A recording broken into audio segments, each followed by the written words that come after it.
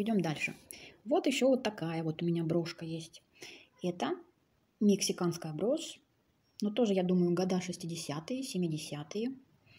Мексика. И это серебро 925 пробы. Вот так вот уже видно уже. Потом здесь вот есть, значит, э, какие-то буквы, цифры. Я тоже смотрела, пробивала по интернету. Это вот там просто в Мексике есть определенная местность, где вот занимаются вот такие вот ювелирными серебряными украшениями. Все это делают. И здесь камни натуральные. Здесь, скорее всего, агат и тигровый глаз тоже. Но все хочу сказать, вот здесь вот такая вот есть штучка. Я думала, что это можно носить как кулон. Оказывается, нет. Так как брошь тяжелая, когда ее прикалываешь к одежде, вот это вот штучка, она выполняет как утяжелитель, чтобы она не переворачивалась. То есть она прямо на одежде вот так вот крепится. Тоже все продумано. Такая вот прикольная, тоже интересная брошка. Серебряная, тяжелая. Еще хочу показать вот такую вот брошку.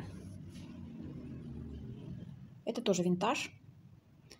Дамаскин, Испания. Причем это настоящий дамаскин, потому что есть под дамаскин, а это настоящий дамаскин. Э, значит, в Испании, в городе Толедо, ну, я не, не могу сказать, что прямо эта брошка из Толедо или там что-то, ну, испанская. У них там вот это вот э, инкрустация вот таких вот металлов, они там делают вазы, делают красивые там всякие штуки, ну и, конечно, вот броши делают ну, скажем так, стиль вот здесь вот и, арабских элементов, да. Вот у меня еще другая была побольше Дамаскин, но я ту продала, там была птица с э, какими-то растениями, вот, она была большая такая. А вот это вот э, такие вот узоры, арабские элементы, казалось бы, почему Испания, почему арабские эти, ну, потому что там ремесленники в основном были арабами, и вот это оттуда пошло. Очень интересная техника и очень сложно делать, делать ее. Э, по металлу в основном они используют либо латунь, либо серебро. Ну, вот здесь в данном случае, конечно, латунь. Им делают такие ложбинки. Потом тоненькой проволочкой, тоненькой-тоненькой серебряной или там медной проволочкой выкладывают. Сейчас, если видно,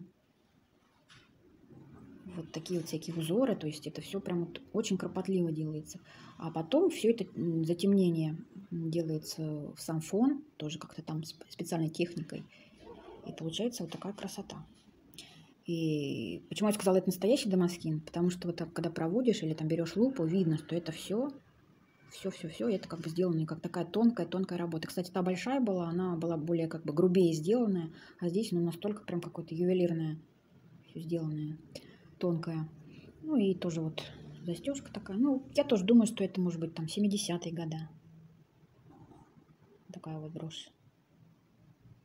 Тоже из уважения к мастерам вот. Очень красивая.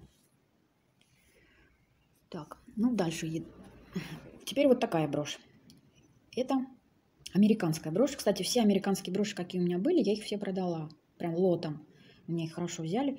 Эм, американские броши, конечно, очень красивые, но это уже у них там идет производство, и там идет штамповка, там уже на высшем уровне, там, в общем, все не так, конечно, как вот эти вот старинные броши, которые там единичные вот делаются. Нет, здесь уже идет фабрика, здесь уже штамповка, но, конечно, красивые изделия.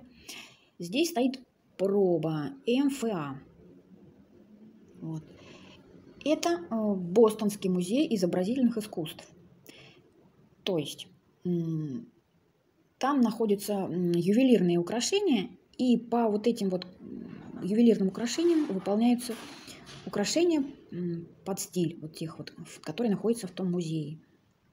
Ну, как бы здесь написано тоже, что они покрываются каким-то как тонким слоем там золота, 24-каратным написано, в общем, все. Ну, как бы где-то вот есть такой экземпляр, настоящая брошь, из драгоценного металла, а это вот уже сделанное под нее. Ну, вот, вот такое вот тоже красивое. Кошки такие. Дальше будет следующая серия.